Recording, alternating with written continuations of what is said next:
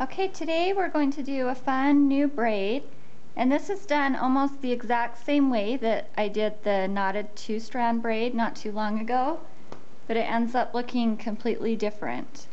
And you just start by taking two strands and then bring the one in the back underneath the one in the front and pull it into a knot just like you're tying a shoe.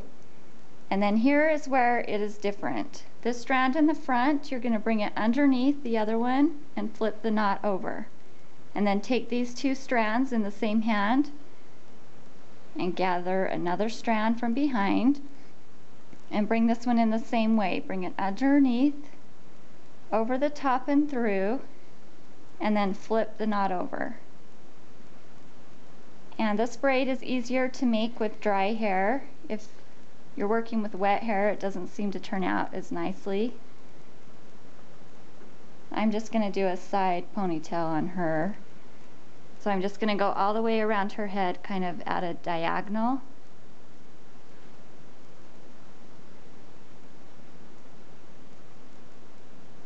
You want to keep it fairly loose. You don't want it to be super tight.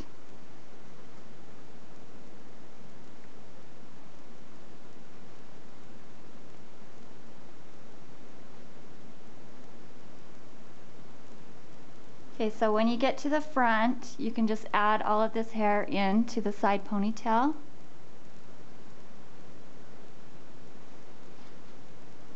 And add an elastic.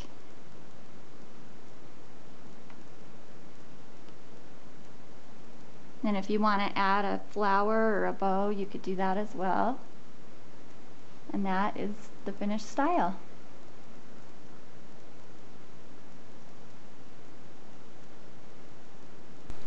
Okay, so another variation you could do with this is to tie off the first braid and then make another one underneath.